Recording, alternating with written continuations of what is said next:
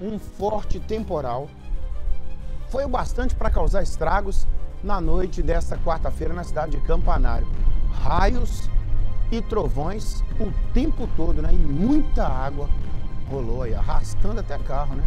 Olha lá, olha como é que desce lá ó, a, a, a enxurrada. Relâmpago, é? Meu Deus do céu, olha lá o, o morador guardando a motocicleta, ó. É um sufoco para os moradores aí, né? Para retirar os veículos, retirar os veículos das áreas de risco e também se proteger, que é o mais importante, né? Deixa eu chamar o Fantoni. Fantoni, quando a gente vê as imagens aqui, a gente recebeu muita imagem de redes sociais, é, desse temporal em Campanário. A gente fica assustado, mas você tem a informação precisa. Foi só o aguaceiro e o susto mesmo, Fantoni? O que, é que você me conta? Bom dia, meu amigo.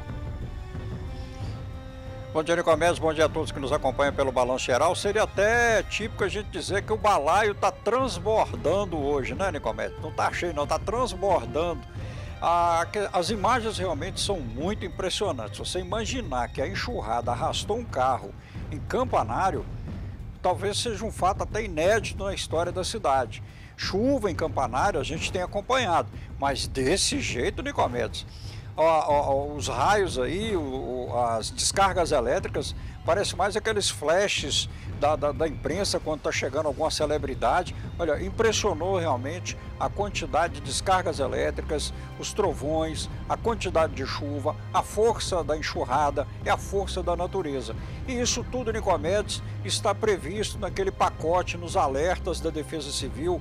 Quem se cadastra no sistema da Defesa Civil recebe o alerta no smartphone com as informações de pancadas de chuva em curto espaço de tempo, com volumes em torno de 30 a 60 milímetros, concentrado às vezes em um determinado setor da cidade, e aí o resultado é esse. No caso de Campanário, que tem uma geografia bastante acidentada, Nicomedes, evidentemente que as partes mais baixas são as mais prejudicadas com inundações, alagamentos, mas hoje pela manhã a defesa, o coordenador estadual de defesa civil, o sargento Teófilo, ele que é o articulador da defesa civil entre os municípios e o estado, ele informou que no caso de Campanário, nada de grave, nenhuma ocorrência, nenhum desabamento, desalojados, feridos, apenas realmente essas imagens impactantes que causam preocupação das pessoas, mas podemos tranquilizar que no caso de Campanário,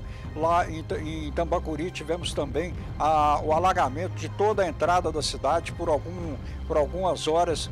Ah, os carros não puderam passar pela principal via porque houve inundação, mas Nicomedes, por enquanto, e felizmente apenas danos materiais às ruas, porque arrancou o calçamento, mas o importante é que não temos vítimas, não temos desalojados, nem desabrigados e nem feridos, Nicomedes.